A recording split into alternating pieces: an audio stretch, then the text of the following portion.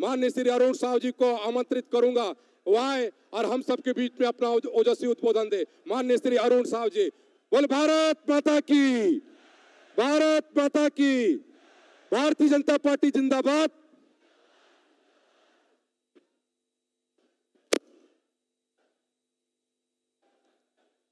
बोलो दंतेश्वरी मैया।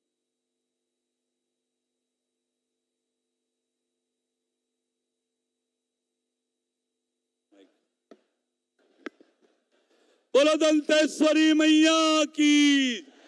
दंतेश्वरी मैया की। छत्तीसगढ़ महतारी की। छत्तीसगढ़ महतारी की। अरे नहीं सही वो अरे नहीं सहिबो। औ नहीं सहिबो। भारतीय जनता पार्टी जिंदाबाद। भारतीय जनता पार्टी जिंदाबाद। नरेंद्र मोदी जिंदाबाद। नरेंद्र मोदी जिंदाबाद। आज के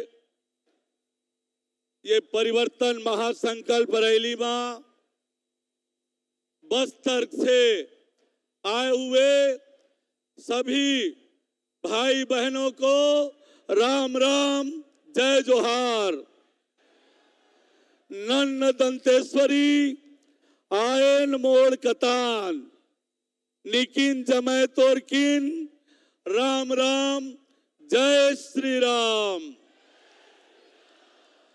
विश्व के सबसे बड़े लोकतंत्र, विश्व के सबसे लोकप्रिय नेता, देश के जननायक यशस्वी प्रधानमंत्री, माननीय नरेंद्र मोदी जी का, माँ दंतेश्वरी की पावन धरा, बूढ़ा देव की धरती, दंड कारण्य की इस पवित्र भूमि, जहाँ के कण कण में हमारे भाचा श्री रामचंद्र जी के चरण रज बिखरे हैं, हम अपने नेता, जननायक नरेंद्र मोदी जी का स्वागत और अभिनंदन करते हैं। राम राम, जय जोहार करते हैं। ये हमारा बस्तर, भोले भाले, अच्छे इंसानों का ये क्षेत्र है।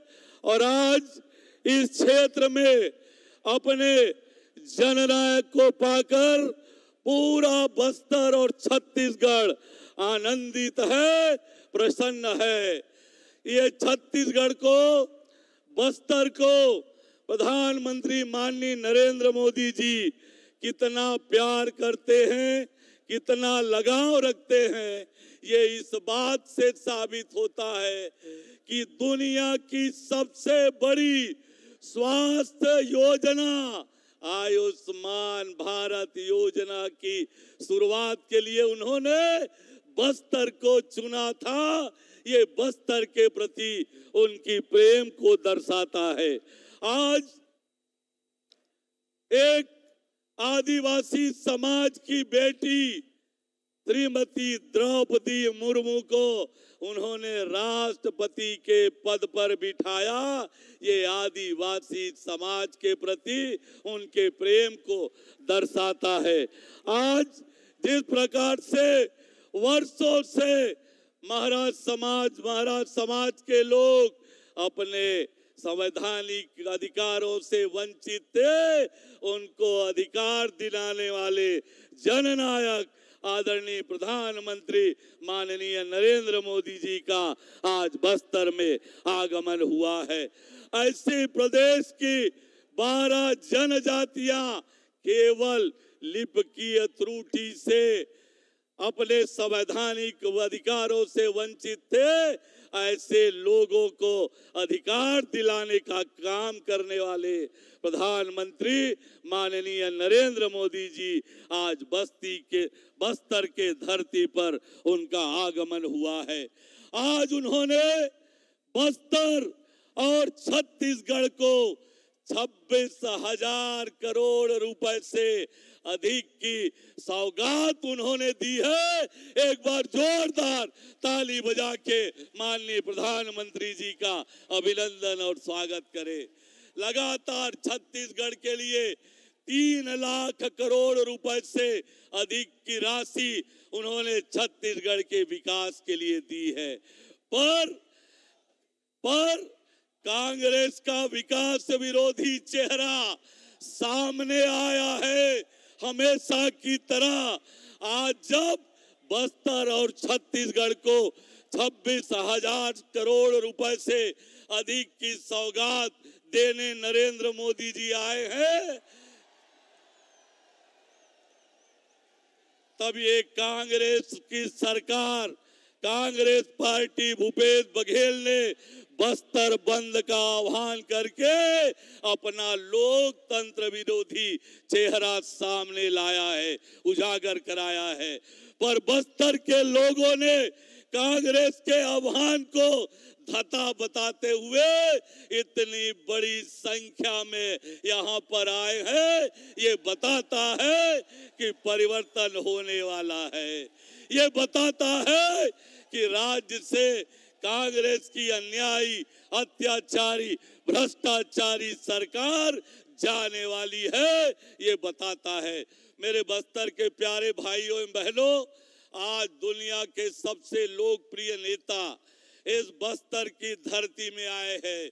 आमचो बस्तर खूबे सुंदर, ऐसे बस्तर में आज आए हैं तो आज दोनों हाथ उठा के बता दे कि बस्तर से कांग्रेस साफ़ होने वाली है, कमल खिलने वाला है। जय जय श्री राम जय जय श्री राम अरे औ नहीं सही बो। औ नहीं सही बो। भारत माता की, भारत माता की, दंतेश्वरी मैया की, दंतेश्वरी मैया की। जय जय श्री राम जय जय श्री राम बहुत बहुत धन्यवाद। बहुत बहुत धन्यवाद माननीय प्रदेश अध्यक्ष श्री अरुण साहु जी के लिए जोरदार तालियों के साथ उनका धन्यवाद ज्ञापित करिएगा। और अब हमारे बीच में हमारे देश के प्रधानमंत्री माननीय नरेंद्र मोदी जी को स्मृति चिन्ह देने के लिए माननीय राम विचार नेताम जी, उन्हें स्मृति चिन्ह भेंट कर रहे हैं।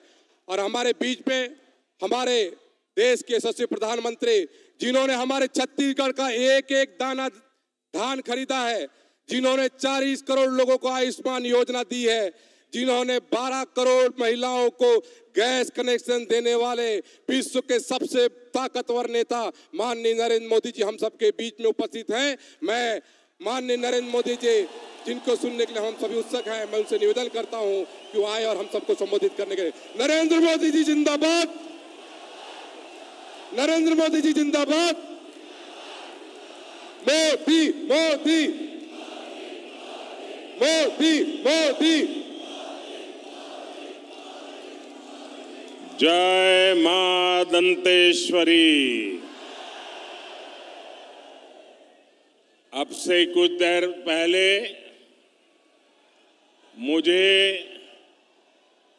दंतेश्वरी माता मंदिर में देवी का दर्शन करना और माँ के आशीर्वाद लेने का सौभाग्य मिला। मैं महाराजा प्रवीर चंद्र भदेव जी को भी पुनः अपने श्रद्धा सुमन अर्पित करता हूँ। मैं जब भी बस्तर आया हूँ, जगदलपुर आया हूँ, आप सभी साथियों ने हर बार इतना प्यार दिया, इतना प्यार दिया है। इतने आशीर्वाद दिए हैं।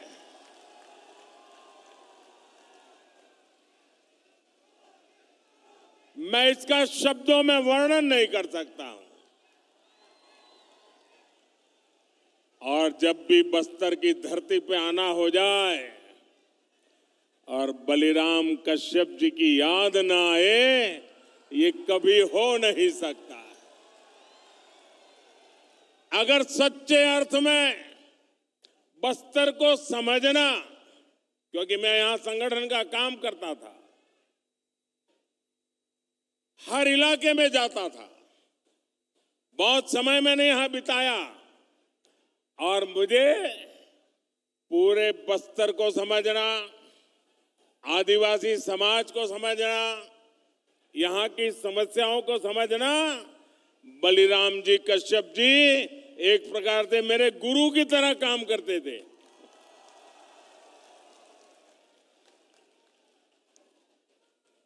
साथियों, मेरा निरंतर प्रयास है कि आपके इस आशीर्वाद को यहाँ का विकास करके लौटाऊं दिन रात परिश्रम करके, आपकी सेवा करके ये कर्ज मैं चुका सकूँ।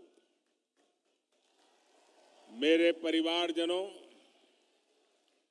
कांग्रेस ने सिर्फ़ पाँच वर्ष में छत्तीसगढ़ की जो हालत कर दी है, उसे पूरा देश देख रहा है। कांग्रेस के विधायकों और मंत्रियों ने जो कारनामे यहाँ किए हैं उससे हर कोई त्रस्त है। चारों तरफ़ भ्रष्टाचार का बोलबाला है। छत्तीसगढ़ में अपराध चरम पर है। हत्याओं के मामले में छत्तीसगढ़ अग्रणी राज्यों में पहुँच चुका है। कभी कभी तो लगता है राजस्थान और छत्तीसगढ़ के बीच स्पर्धा चल रही है कि कहाँ सबसे ज़्यादा हत्याएँ होती है, कहाँ सबसे ज़्यादा लूट होती है, कहाँ सबसे ज़्यादा महिलाओं पर अत्याचार होते हैं। राजस्थान और छत्तीसगढ़ आजकल एक दूसरे की स्पर्धा में लगे हुए हैं।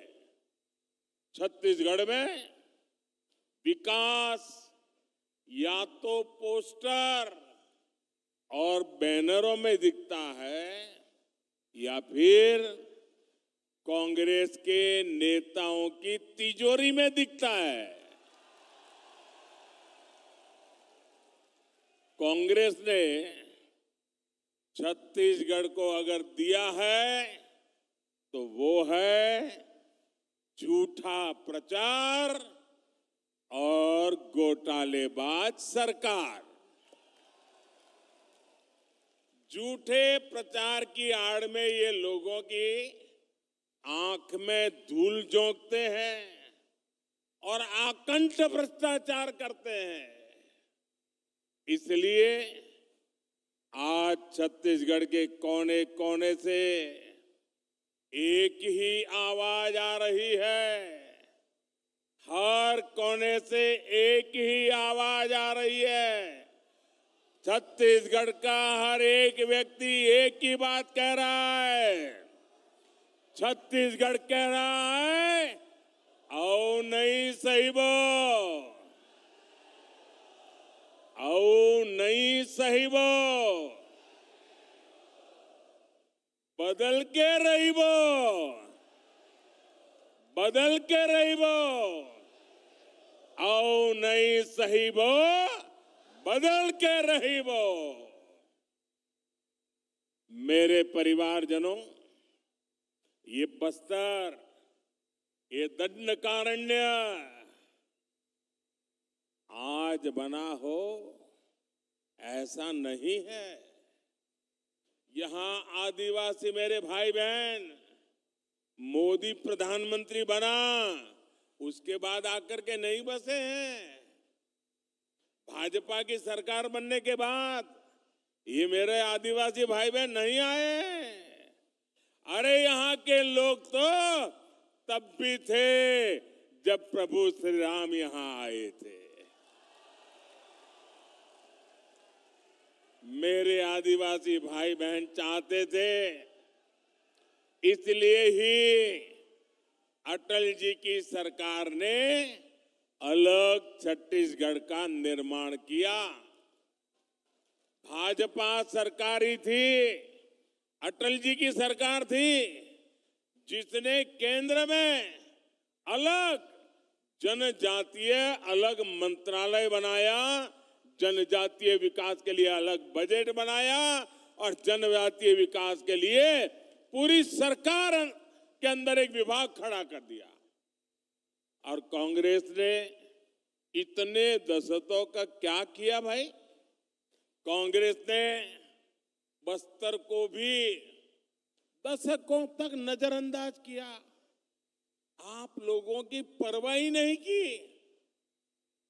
उनके दो चार ठेकेदारों को संभालते थे और वही आपसे वोट लेकर के उनको दे देते थे, उनकी गाड़ी चल जाती थी। उनको आपकी परवाह ही नहीं थी। ये भाजपा सरकार है यहाँ मेडिकल कॉलेज, इंजीनियरिंग कॉलेज बनाए। भाजपा सरकार ने दंतेवाड़ा में एजुकेशन सिटी बनाई, और मैं तो उसको देखने गया था। साथियों, मैंने अपने जीवन का बड़ा हिस्सा, ये मेरा सौभाग्य रहा है। कि राजनीति में आने से पहले मेरे जीवन के बहुत वर्ष मैंने आदिवासी क्षेत्रों में गुजारा है। मेरा तो आपसे सीधा नाता है, दिल का नाता है।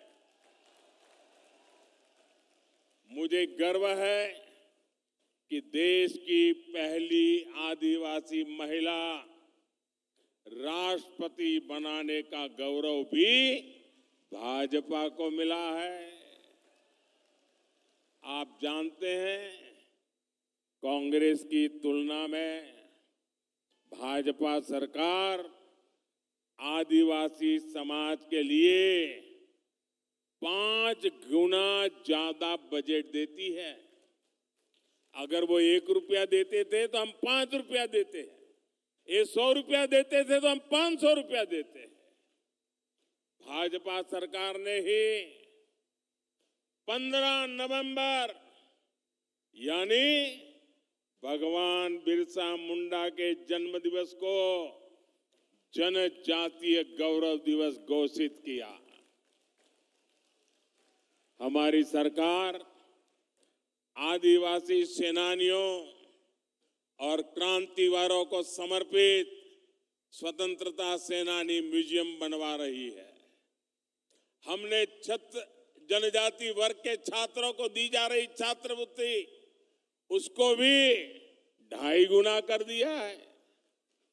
बीते नौ वर्षों में 300 से अधिक एकलव्य मॉडल आवासीय विद्यालय मेरे जनजाति बच्चों के लिए हमने खोले हैं।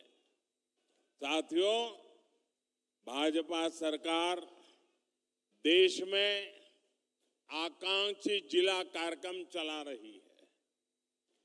बस्तर संभाग के भी अनेक ज़िले ये आकांक्षी जिलों में शामिल है।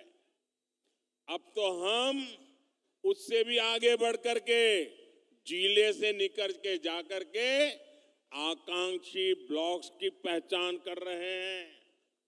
इस अभियान के तहत शिक्षा, स्वास्थ्य और रोज़गार से जुड़े बड़े बड़े प्रोजेक्ट यहाँ शुरू होने वाले हैं। इसके अलावा भी हम छत्तीसगढ़ के उसमें आधुनिक इंफ्रास्ट्रक्चर का निर्माण कर रहे हैं। आज भी यहाँ छब्बीस हज़ार, सत्ताईस हज़ार करोड़ रुपए उसके से भी अधिक प्रोजेक्ट बस्तर को मिले हैं, छत्तीसगढ़ को मिले हैं। मेरे परिवारजनों, आज यहाँ बहुत बड़े और देश के आधुनिकतम स्टील कारखाने का लोकार्पण हुआ है।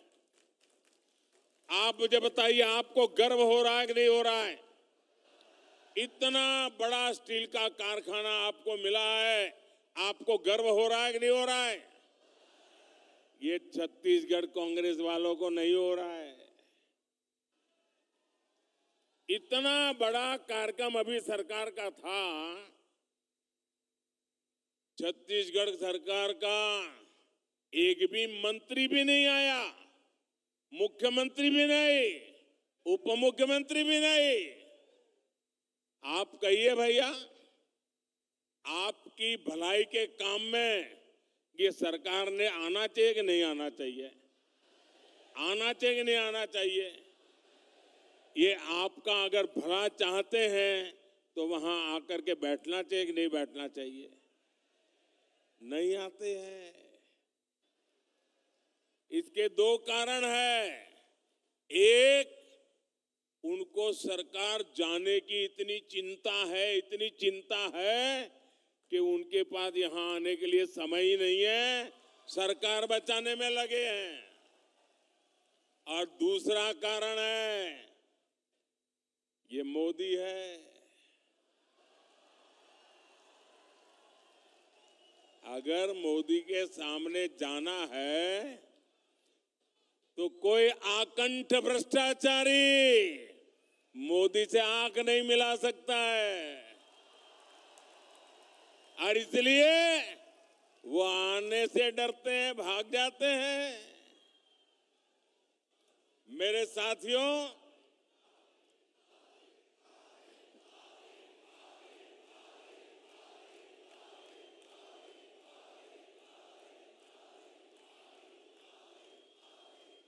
ये स्टील का कारखाना, मुझे याद है हमारे बलिराम जी कश्यप उस जमाने से हमें क्या करते थे?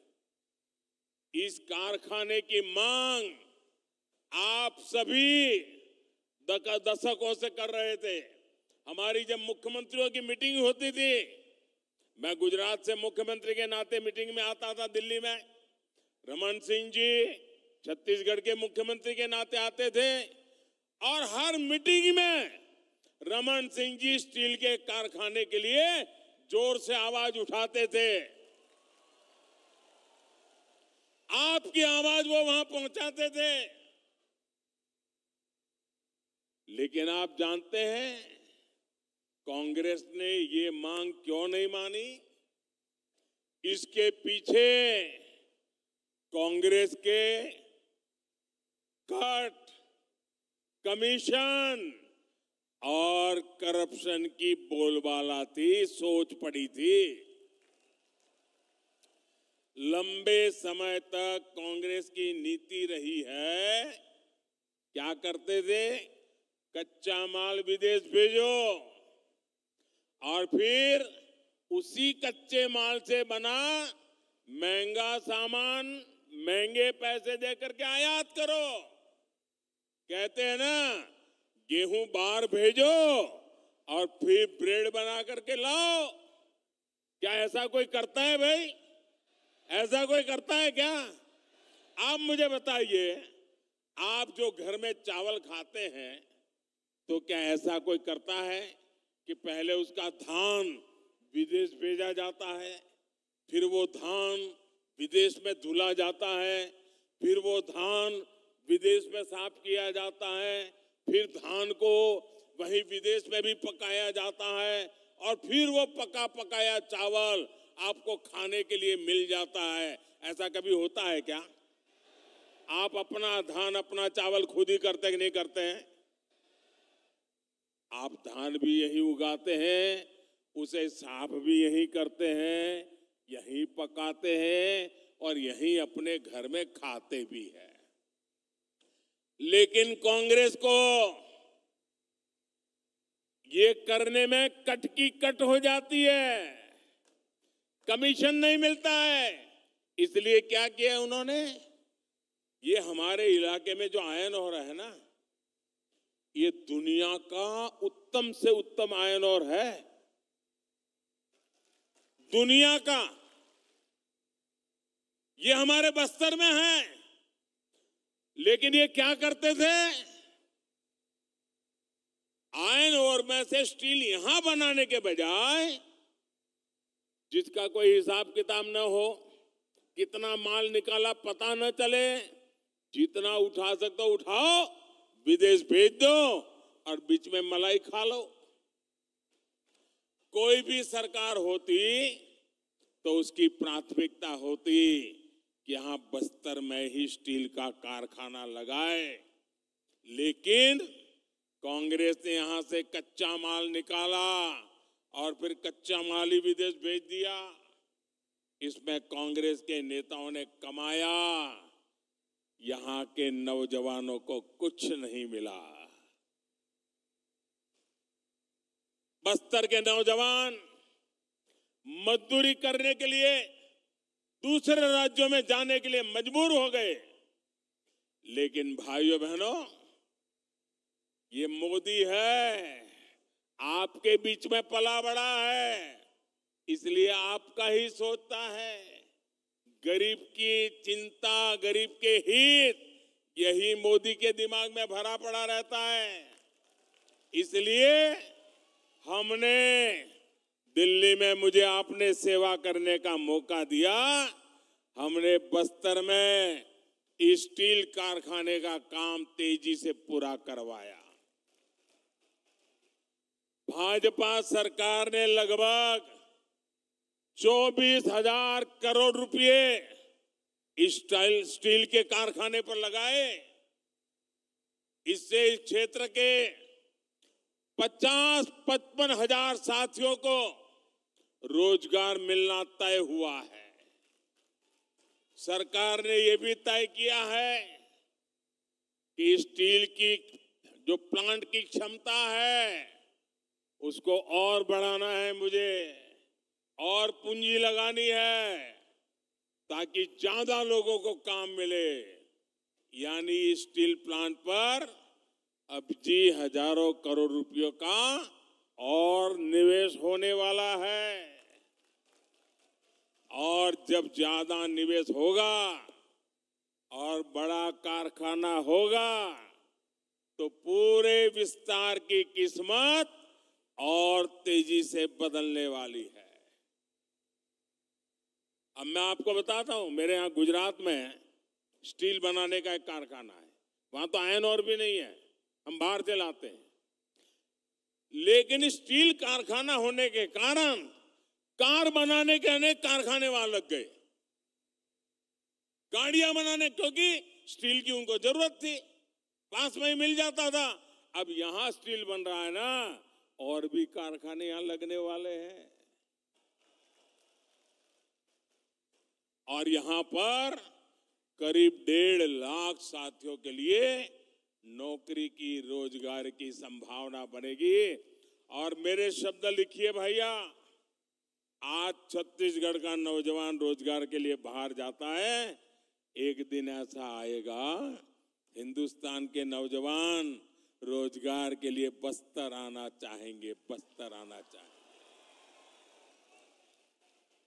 आप कल्पना कर सकते हैं, मोदी अगर ये काम कर देगा तो कांग्रेस के लोगों के लिए भ्रष्टाचार के रास्ते रुक जाएँगे। खदान में से जो माल खाते थे, उस पर मोदी ने ताला लगा दिया। और इसलिए छटपटा रहे हैं, छटपटा रहे हैं। आज भी आज भी कितनी झूठी बातें फैलाई, लेकिन आपने उन पर ये तमाचा मारा इतनी पब्लिक आकर के आपने उनको तमाचा मारा है। झूठी बातें फैलाकर इनका इरादा समझिए, बस्तर के मेरे नौजवानों, इनका इरादा समझिए। ये झूठी बातें फैलाकर ये स्टील प्लांट को भी हड़पना चाहते हैं। इस स्टील प्लांट को भी कांग्रेस ही अपने बच्चों, अपने रिश्तेदारों की तिजोरी भरने का माध्यम बनाना चाहते हैं। लेकिन मेरे बस्तर के भाइयों बहनों, ये मोदी की गारंटी है ये मोदी नहीं होने देगा। ये बस्तर का स्टील प्लांट आपका है, बस्तर के लोगों का है। स्टील प्लांट के मालिक मेरे बस्तर के लोग हैं, मेरे छत्तीसगढ़ के लोग हैं। मोदी इसका मालिक नहीं है। मोदी इसका मालिक नहीं है। और नहीं कोई दूसरा नेता, कोई कांग्रेसी को मैं इसका मालिक बनने देने वाला हूँ। इस प्लांट के मालिक सिर्फ़ और सिर्फ़ बस्तर के मेरे भाई बहन है। ये हक आपका है। कोई आपका हक छीन नहीं सकता है। इस पर कांग्रेस के नेताओं को किसी भी हालत में कब्जा नहीं करने दिया जाएगा। उनको कटकी कंपनी, कमीशन कंपनी, भ्रष्टाचार बेईमानी करने का मौका नहीं दिया जाएगा। आप मेरे साथ सहमत हैं? तो एक काम करिए, अपना मोबाइल फ़ोन निकालिए और उसकी फ्लैश लाइट चालू कीजिए।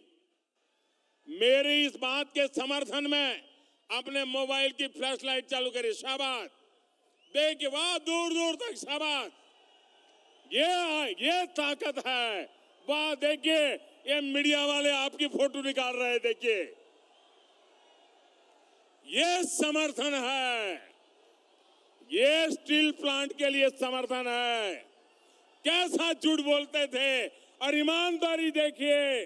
ये सच्चाई यहाँ देखिए। बहुत बहुत धन्यवाद मेरे बस्तर के भाइयों बहनों।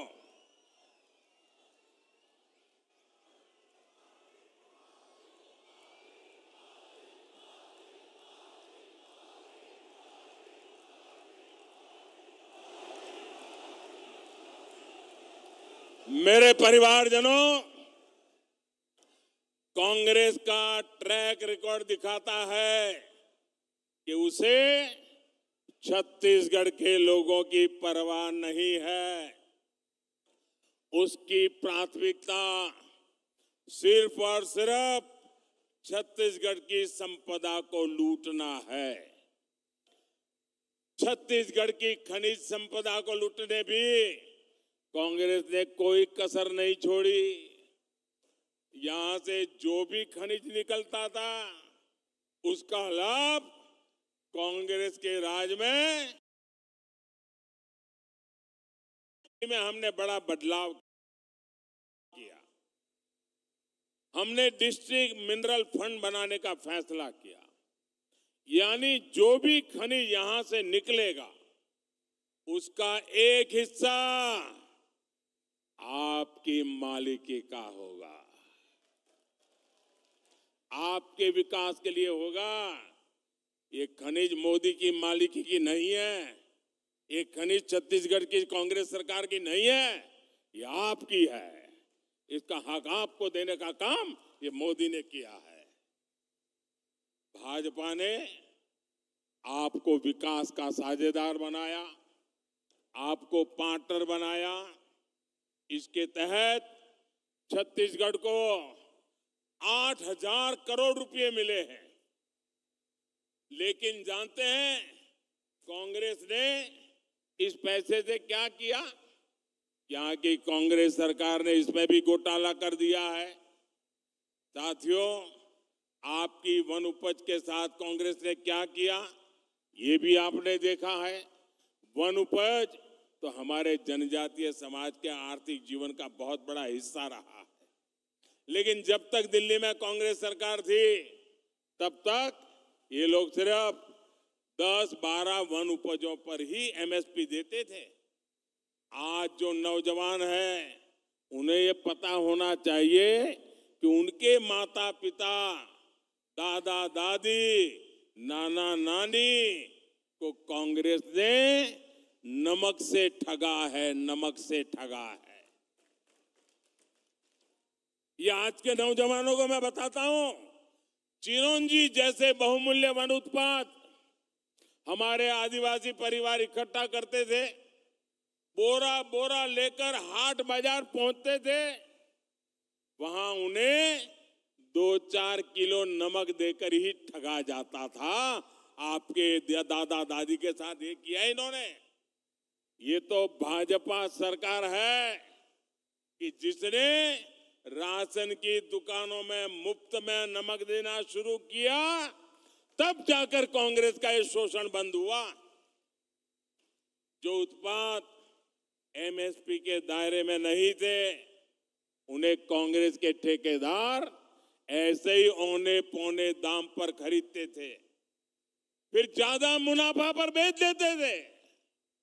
आज भाजपा सरकार करीब करीब नब्बे वन उपज को एमएसपी के दायरे में ला चुकी है। कितनी?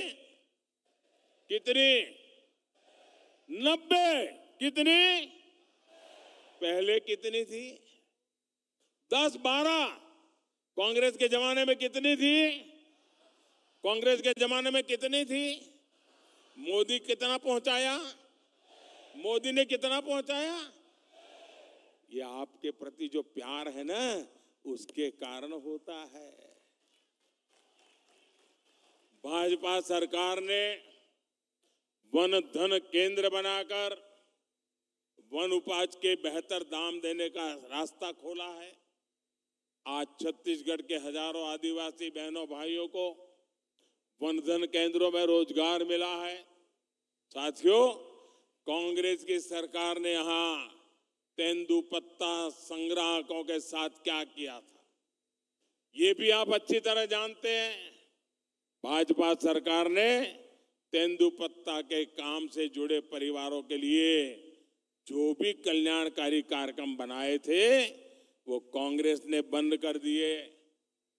बोनस कभी मिलता है, कभी नहीं मिलता। मिलता है तो कम मिलता है और पाना है। तो कांग्रेस वाले का कुर्ता पकड़ के जाना पड़ता है, उसके जेब में कुछ डालना पड़ता है। तेंदु पत्ता की खरीदी कभी होती है, कभी नहीं होती है।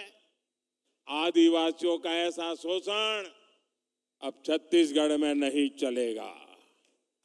जैसे ही यहाँ भाजपा सरकार बनेगी, वैसे ही तेंदु पत्ता संग्राहकों के लिए के पहले की तरह ही बेहतर व्यवस्था बनाई जाएगी।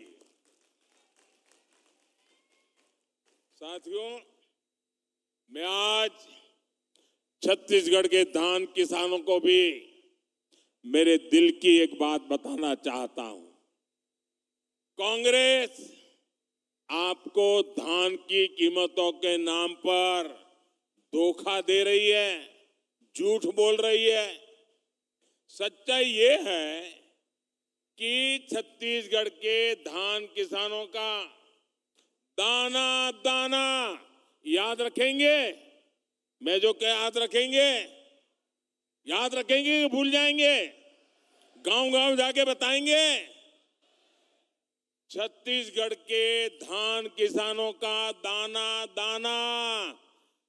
केंद्र सरकार खरीदती है, मोदी सरकार खरीदती है। भाजपा सरकार ने एक लाख करोड़ रुपए छत्तीसगढ़ के धान किसानों को दिए हैं।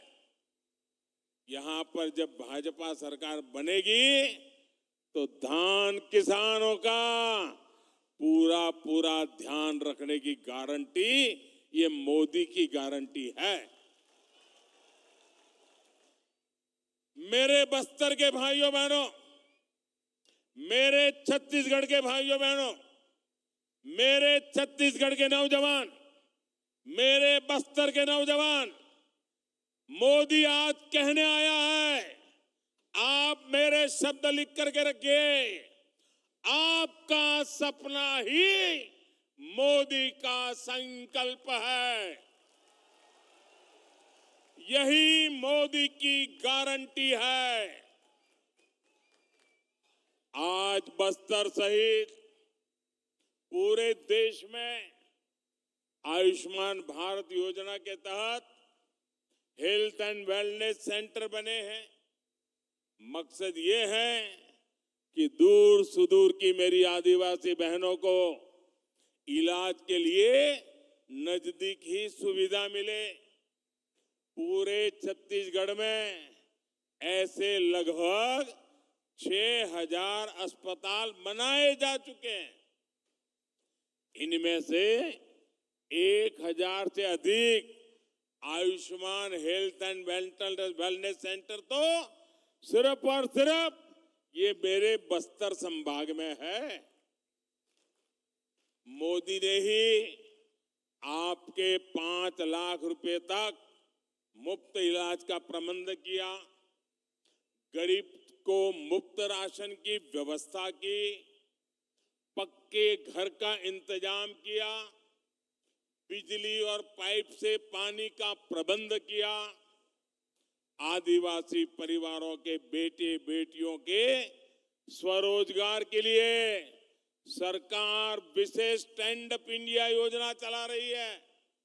साथियों, आज मैं बस्तर के छत्तीसगढ़ के युवा साथियों को भी एक बात बताना चाहता हूँ।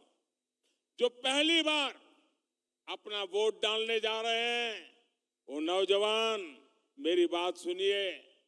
आपको 2014 से पहले की घटनाओं के बारे में जानना ज़रूरी है। 2014 से पहले दिल्ली में जो सरकार थी ना, अखबारों में बड़े बड़े घोटाले छाए रहते थे। लाखों करोड़ों के घोटाले, यही खबरें होती थी। और पूरी दुनिया में हमारे देश का नाम पूरी तरह बदनाम करके रखा था। 2014 में देश ने कांग्रेस की सरकार को उखाड़ फेंका और पूर्ण बहुमत की भाजपा सरकार दिल्ली में बनाई। आज घोटालों के बजाय दुनिया में भारत के गौरव की चर्चा होती भारत के सामर्थ्य की चर्चा होती है आप मुझे बताइए आज दुनिया में हिंदुस्तान का डंका बज रहा है कि नहीं बज रहा है ऐसे नहीं पूरी ताकत से बताए हिंदुस्तान का डंका बज रहा है कि नहीं बज रहा है अमेरिका में हिंदुस्तान का डंका बज रहा है कि नहीं बज रहा है यूरोप में हिंदुस्तान का डंका बज रहा है कि नहीं बज रहा है जापान में हिंदुस्तान का डंका बज रहा है कि नहीं बज रहा है सिंगापुर में हिंदुस्तान का डंका बज रहा है कि नहीं बज रहा है आपको गौरव होता है कि नहीं होता है आपका माथा ऊँचा होता है कि नहीं होता है? इसलिए मेरा युवा साथियों, आपको एक बात ज़रूर ध्यान रखनी है। आज देश के बहुत कम राज्यों में कांग्रेस की सरकारें बची हैं और एक बार जाती है ना 25-25 साल तक वापस नहीं आती है। और इसलिए जब इनके पास सरकारें ही कम है तो लूट का माल कुछ ही जगह से लूटना पड़ता है। इसलिए जहाँ भी इनकी सरकार बनती है, वो जम करके लूटते हैं। पूरे हिंदुस्तान में उन्होंने राजस्थान, छत्तीसगढ़ ऐसे राज्य को लूट का सबसे बड़ा खजाना बना दिया है। छत्तीसगढ़ के ही लोग मुझे बताते हैं कि कांग्रेस के हर छोटे बड़े हर नेता ने पंद्रह साल जो तक सरकार नहीं थी ना, वो जो कम, खाद पड़ गई थी ना, वो भी जमा करने में लग गए पाँच सालों में। यानी पंद्रह साल तक इनको छत्तीसगढ़ को लूटने का मौका नहीं दिया, अब वो सारी कसर भी अभी निकालना शुरू कर दिए है। अरे, इन्होंने तो गौ माता के नाम पर भी भ्रष्टाचार किया जिन्होंने गोबर तक को नहीं छोड़ा, उन्होंने क्या क्या नहीं किया? इनके भ्रष्टाचार के सबसे बड़े भुक्त भोगी मेरे नौजवान है, मेरे बस्तर के लोग हैं। कांग्रेस ने युवाओं को नौकरी का वादा दिया था, लेकिन नौजवानों की नौकरी में ही घोटाला कर दिया। कांग्रेस के नेताओं ने पीसीएस भर्तियों में अपने बच्चों, अपने रिश्तेदारों को सेट कर दिया, किया कि नहीं किया? चारों तरफ़ लूट मचाई, नहीं मचाई? इनकी पार्टी तो राजनीति में भी अपने ही बच्चों को सेट करती है और नौकरियों में भी यही करती है। छत्तीसगढ़ के लाखों परिवारों, आदिवासी, पिछड़े परिवार के बच्चों से कांग्रेस ने नौकरियाँ छीन ली है, आपका अधिकार छीन लिया है। नौकरियों तो दी नहीं, जो पहले से सरकारी नौकरी में है, उनको भी कांग्रेस ने, लोगों ने लूटा है, परेशान किया है। ट्रांसफ़र पोस्टिंग को लेकर यहाँ सरेआम भ्रष्टाचार हो रहा है, बोली बोली जाती है, ऐसे ही उगाई की जा रही है। इसलिए छत्तीसगढ़ कह रहा है, औ नहीं सही वो बदल के रही वो औ नहीं सही वो औ नहीं सही वो ये अब नहीं सही वो साथियों, आप आश्वस्त रहिए। आप कांग्रेस की सरकार बदलिए। भाजपा इस पूरे लूट तंत्र को बदल देगी। ये कांग्रेस ने लोकतंत्र को लूट तंत्र बनाया है और प्रजातंत्र को परिवार तंत्र बना दिया है। भाजपा सरकार बनते ही पीसीएस घोटाले की जाँच होगी। गुनेगार भी कितना ही ताकतवर हो, मोदी उसको जेल में डाल करके ही रहेगा। हर नौजवान, हर सरकारी कर्मचारी को पूरा न्याय मिलेगा। मेरे परिवारजनों,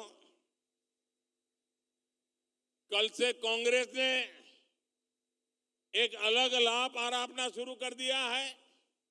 ये कांग्रेस के नेता कहते हैं जितनी आबादी, उतना हक। मैं कहता हूँ, इस देश में अगर सबसे बड़ी कोई आबादी है तो वो आबादी गरीब है। और इसलिए मेरे लिए गरीब ही सबसे बड़ी आबादी है, और गरीब का कल्याण यही मेरा मकसद है। मैं सोच रहा था कि पूर्व प्रधानमंत्री मनमोहन सिंह जी क्या सोच रहे होंगे? भारत के पूर्व प्रधानमंत्री मनमोहन सिंह जी तो कहा करते थे कि देश के संसाधनों पर पहला हक माइनॉरिटी का है, अल्पसंख्यकों का है, और उसमें भी मुसलमानों का है। अब कांग्रेस कह रही है कि आबादी आबादी तय करेगी कि पहला हक किसका होगा? यानी क्या अब अल्पसंख्यकों का हक कांग्रेस कम करना चाहती है क्या? और आबादी के ही हिसाब से ही अब तय होने वाला है तो पहला हक किसका होगा भाई? किसका होगा? आबादी किसकी ज़्यादा है? किसका हक होगा? जरा कांग्रेस वाले स्पष्टता करें। क्या आबादी के हिसाब से हक मिलेगा क्या?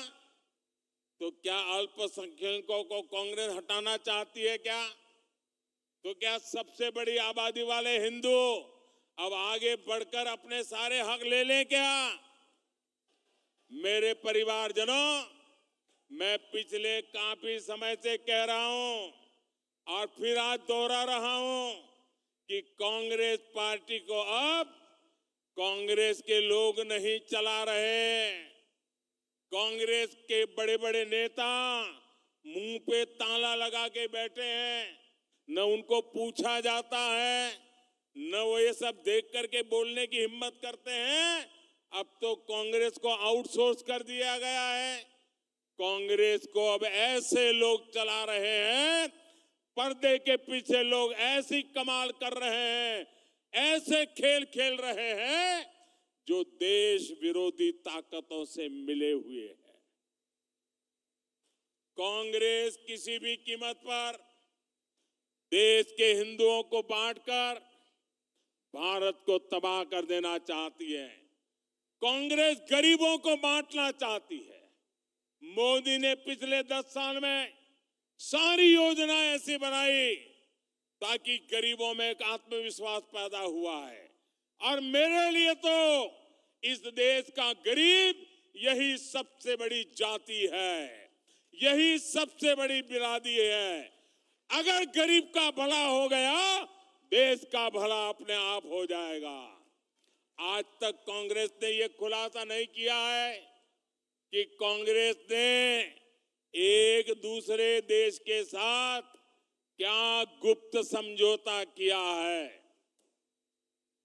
लेकिन देश देख रहा है, इस समझौते के बाद कांग्रेस और ज़्यादा भारत की बुराई करने में मज़ा आने लगी है। भारत के अच्छी बातों को बुरी तरह पेश करने में मज़ा आ रही है। ऐसा लगता है जैसे उनका भारत का प्रेम ही कम होता जा रहा है।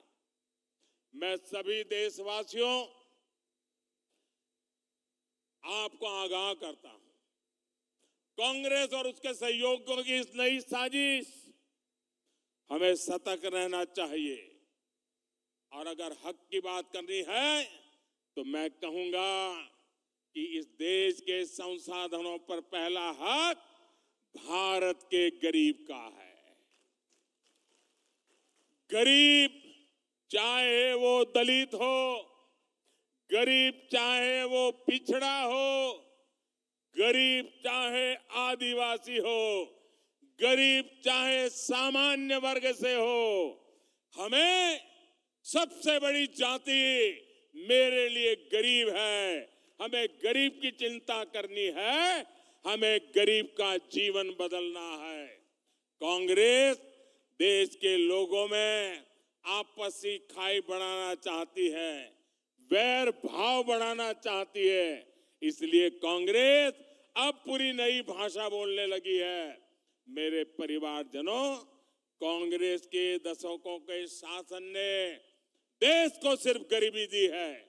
कांग्रेस ने समाज को जाति के आधार पर बांटने का ही काम किया है, ताकि इनका वोट बैंक सुरक्षित रहे।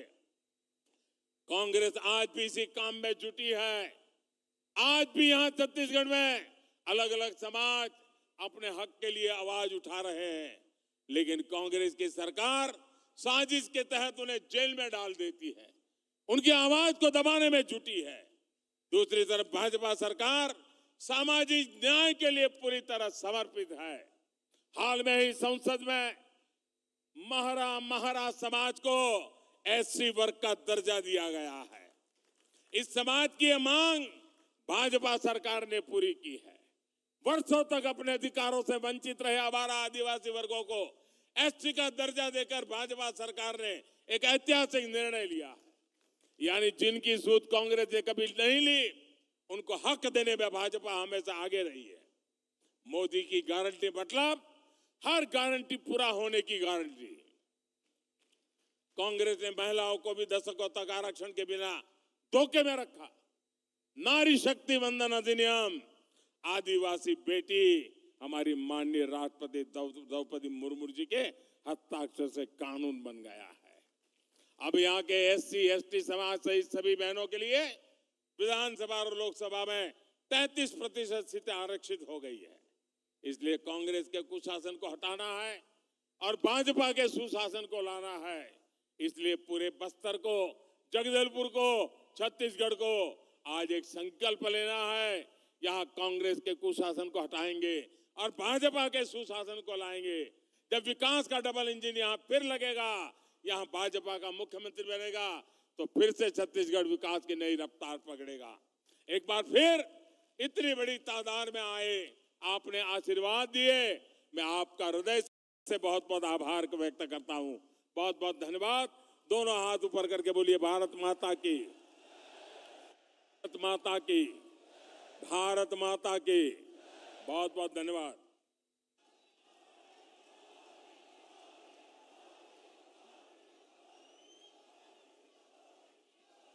अपने अपने स्थानों से खड़े होकर के माननीय प्रधानमंत्री जी का धन्यवाद ज्ञापित करिए। माननीय प्रधानमंत्री जी ने हमारे बस्तर को पच्चीस हज़ार करोड़ की नगरनार स्टील प्लांट सौगात में दी है। हम सभी उनका आभार व्यक्त करते हैं। मैं सुश्री लता उसे जी से आग्रह करूँगा कि वो आए और आभार प्रदर्शन करें।